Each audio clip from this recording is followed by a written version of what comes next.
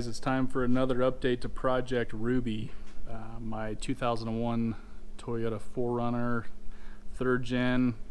Um, like the rest of you guys, I have the bug and I like to do upgrades and you know some simple modifications to, to make it just that much better. So uh, recently I linked up with uh, the folks at Wheelers Off-Road um, and I've got some suspension components showing up today.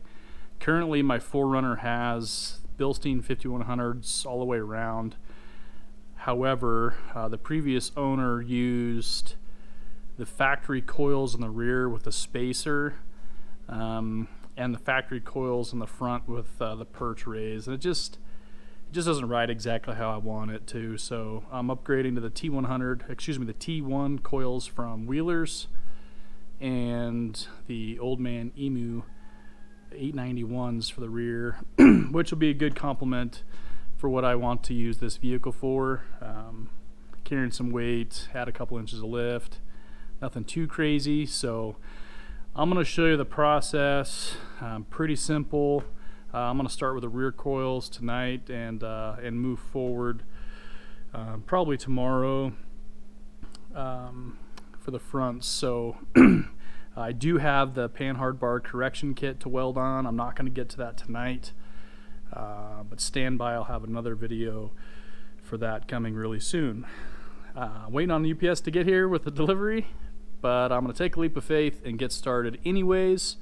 I'm going to get everything broken down in preparation so that when the coils get here, I can uh, show you what they look like and uh, swap them in to, to my third gen. So that's what I'm gonna get going with. Uh, hope you like the video. Alright guys, so as I'm getting ready to kick off uh, doing the rear coils on the 4Runner, I just want to talk to you briefly about some of the tools I'm to use. It's really simple. Um, I'm to be using a, a Ryobi half inch drive uh, impact. I've got a 21 and a 17 millimeter um, socket. The 17 is for the lower shock mount uh, the 21 for my lug nuts. I got a breaker bar in case my cheap Ryobi can't break them free. And then I just got, uh, you know, the basics. You know, a floor jack and a couple floor or jack stands. So um, sometimes you have a little bit of trouble dropping the axle to put the new coils in. Uh, so a trick you can use, I'll show you if I need to, is um, using a uh, your factory um, jack in your vehicle putting it on the axle like over a 2x6 or something, put it on the bump stop and jacking it up to drop the axle. But we'll see if I need it. Uh, I may not. Um, but this is a relatively easy process. All I'm going to do is jack it up as high as I can get it and uh, put the jack stands on the frame, pull the tires, rear tires off, um, make sure to block off the front tires so it doesn't move on me and uh, I'll start getting pulled apart. But really an easy process. I would imagine it won't take me more than 20 minutes or so to get everything out and then it's just waiting on the new coils to get here. Um, so we'll get started.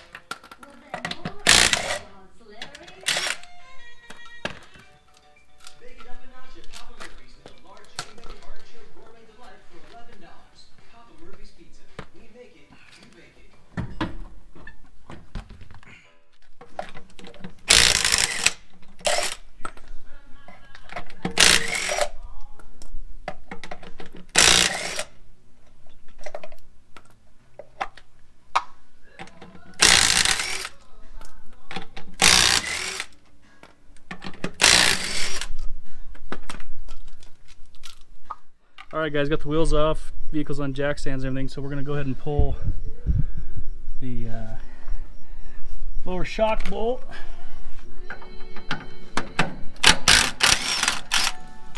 Which is a 17 millimeter.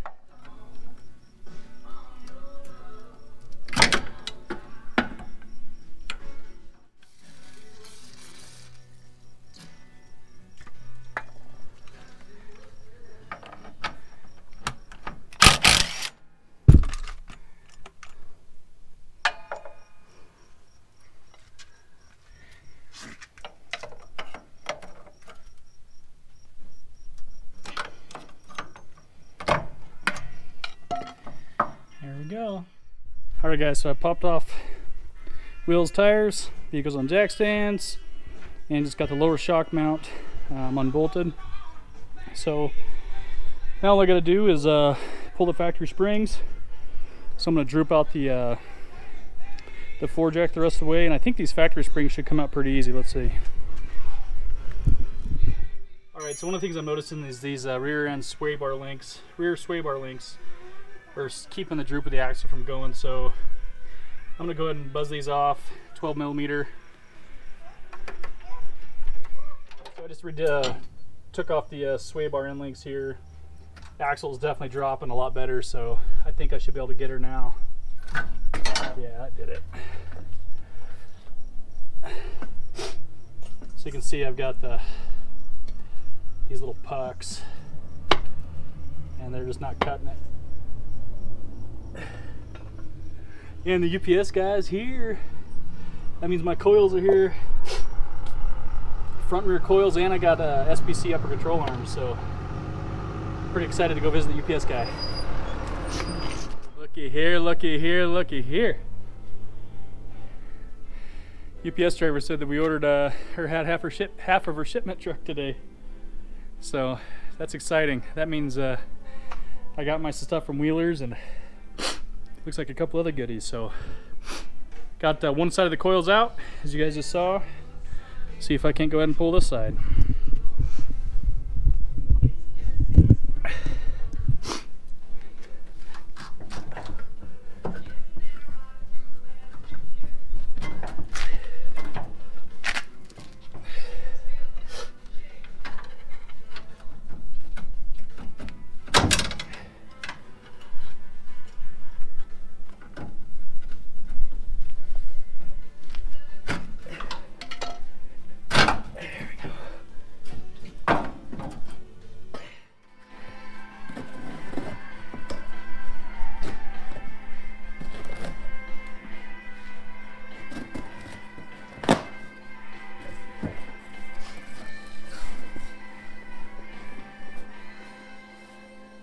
Coils.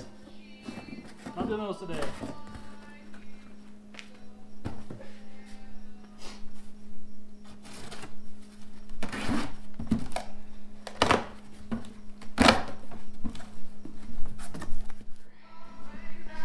Two eighty ones. Excuse me, two ninety ones.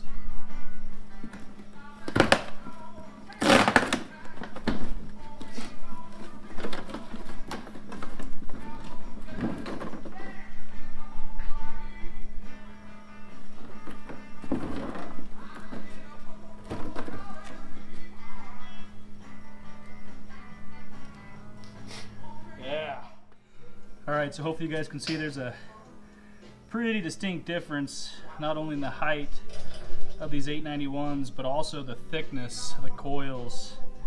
Um, and uh, man, they just, they look really good. I'm excited to get them put on. These old ones are, got 265,000 miles on them and they're tired.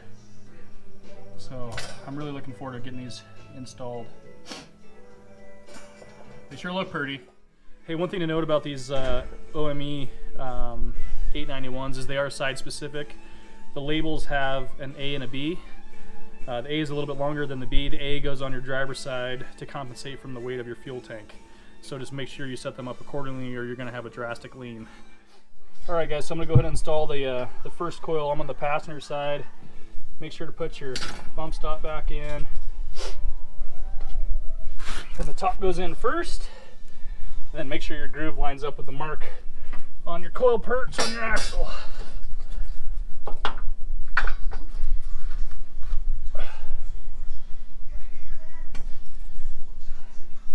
Just like that, then we'll move to the other side. All right, so now we have uh, the coil spring A for the driver's side. Bump stops in place. The axle is quite a bit higher on this side because of the Panhard bar. So I'd imagine it's gonna be a little tougher to get in. I'm gonna see if I can't muscle it. If not, I'll use the, the factory jack to pull it down a little bit.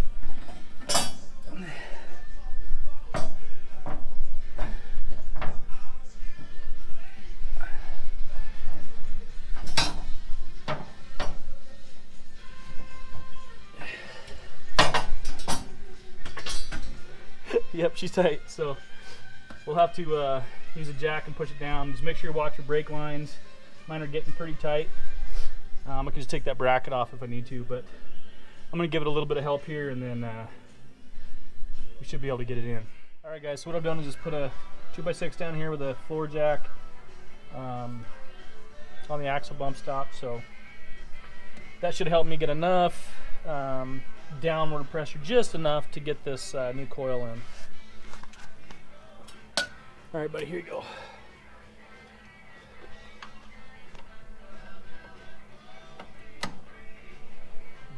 Your hand right here. Turn it other way. Okay.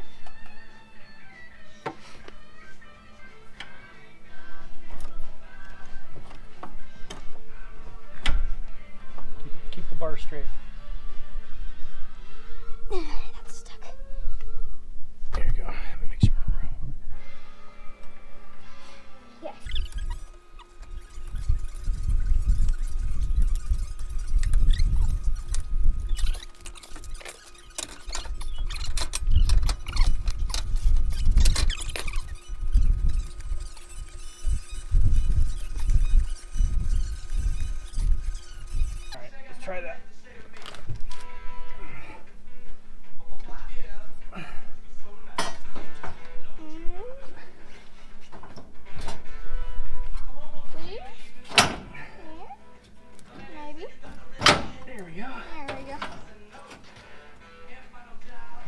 Now do we need to go the other way again? Yep, go the other way.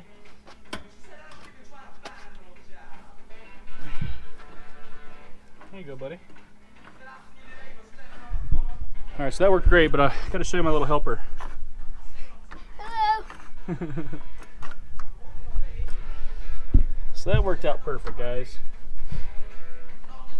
You getting there?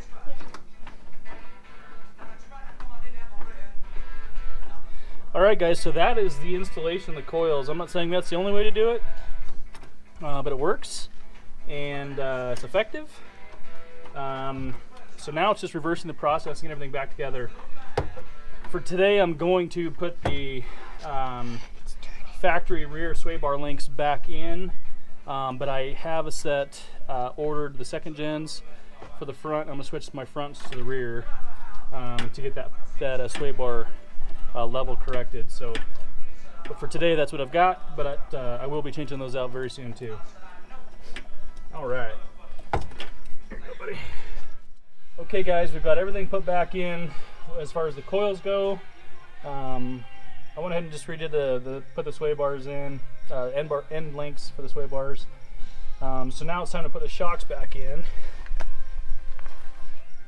And then we'll be getting close to being done. What do you think, little buddy?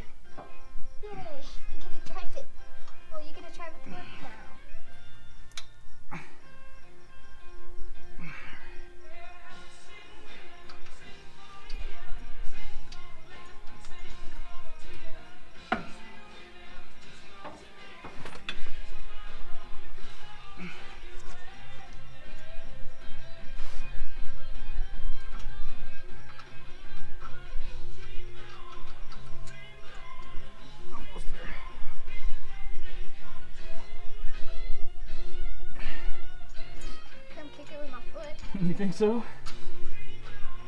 You just gotta get enough to get it started.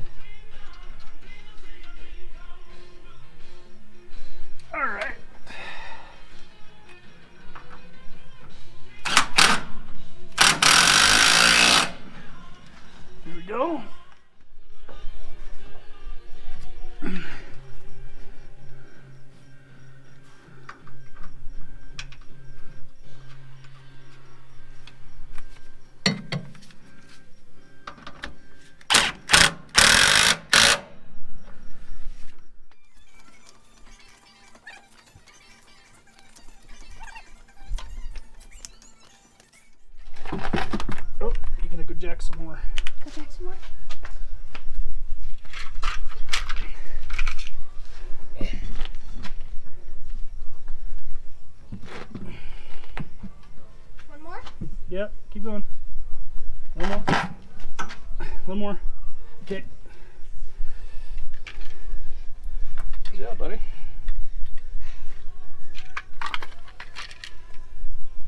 When you're putting these on, Carter, you always want to thread them on by your fingers first. Just the first couple threads.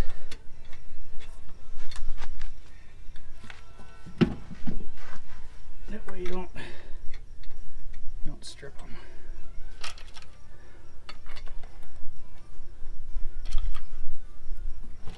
Then we can do just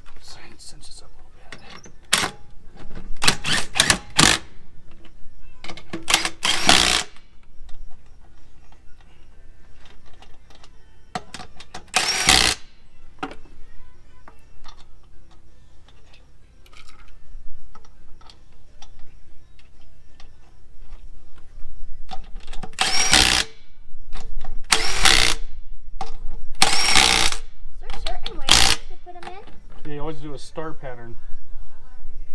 And when you do that, it makes sure that your wheel goes on straight to your to the hub. And we'll come back and check those with a torque wrench before we put the caps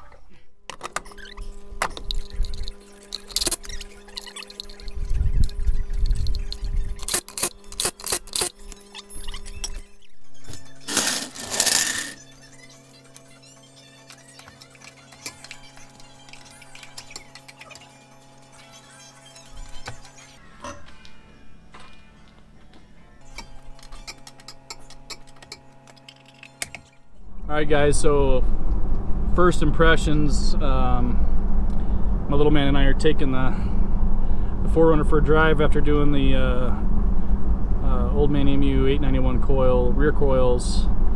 Um, I can definitely feel a difference in how I'm sitting. Um, I ended up getting um, a little over two inches of lift, and I'll make sure to post the, the before and after measurements. Um, but more importantly, uh, it definitely is stiffer. It feels it feels good. Um, we're just kind of driving around our block here, and there's some potholes and stuff like that, and nothing crazy by any means, but it feels good. Um, I really like. I feel like I'm sitting up how I'm supposed to be instead of squatting down and looking at the sky. So I'm really pleased so far, but it's early, right? Um, I know that a lot of folks say that the these particular coils are too stiff, um, but my family and I, uh, four of us, two dogs, our camping gear, my hunting gear, my video equipment, we all load in here and and uh, it gets a little heavy. So um, I think it's going to be the perfect complement to Ruby. So I hope you guys have enjoyed this video. Um, thanks again to Wheelers Off Road. Uh, for supporting Project Ruby. And um, guys, I just got to say, if you're on the fence of upgrading your suspension, it man, it sure makes a difference. I can't wait to do the the Wheelers T1 coils and the uh, upper control arms. That'll be coming shortly, but only have so much time in the day today, so more to follow. Hope you like this video. Please like, share, and subscribe, and. Uh, you know, give it a, give the give the video a like. You know, it's we, my son and I put a lot of effort in these, and it's fun for us. So, um, I know that he would appreciate it too, right, buddy? Yeah, All right, please. please, right? So, I'm gonna go ahead and do a little. Uh, excuse me, my allergies are killing me here in northern Nevada, but I'm gonna go ahead and do a little uh, video sequence. Um, park out in the parking uh, in our uh, driveway here and show you how much lift it, get, it has. I definitely have a rake, um, which is cool. So anyways, I hope you guys liked the video. Thanks a lot.